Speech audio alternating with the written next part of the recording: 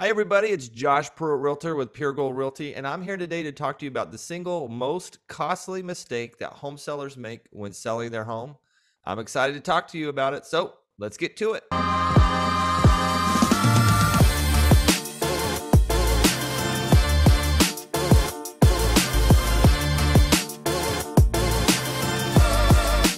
The goal when listing your house is to maximize visibility and increase traffic you should be careful to present your house in a way that will increase demand so that more buyers express interest and possibly submit offers.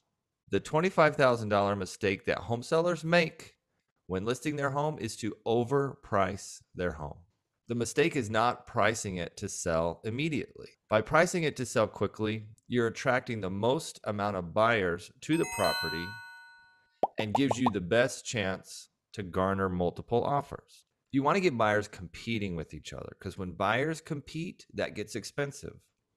The only way to win in a contract negotiation is to pay the seller a lot of money. I've had sellers believe that the best way to list their home is to price it with a buffer so that there's room for negotiation.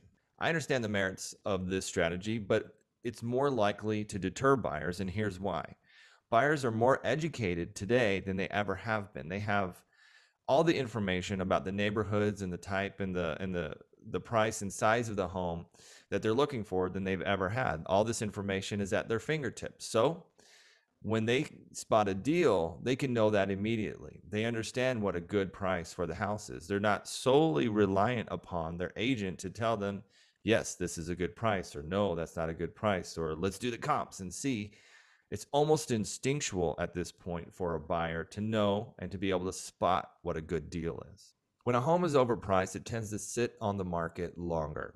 And when the home sits on the market longer, buyers start to wonder why. They start to feel that maybe it's not only overpriced, but there's something wrong with it physically. So now they start to ask themselves if it's even worth it to go look because it's obviously overpriced. There's something wrong with it, and it's going to be a waste of their time.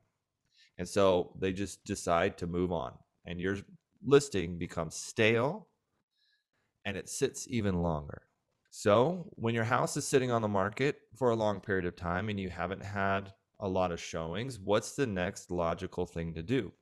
The dreaded price reduction, price, price reduction, reduction, price, price reduction, reduction, price reduction. That's true. That's what you do. So now instead of the market chasing you, you're chasing the market.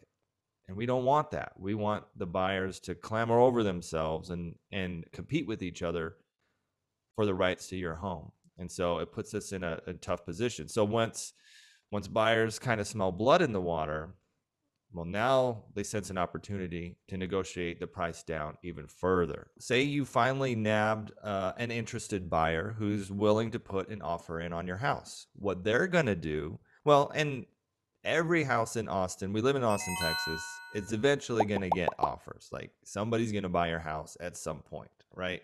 So any house will sell for the right price. So what they're going to do is they're going to send you an offer that they know you're going to refuse, but it's going to be a low and it's going to be a low ball offer. So once you receive that low ball offer, you're so excited by this time because there's been so much stress up until this point that you go towards your bottom line pretty quickly. This happens regularly. I I use this as a buyer's agent all the time.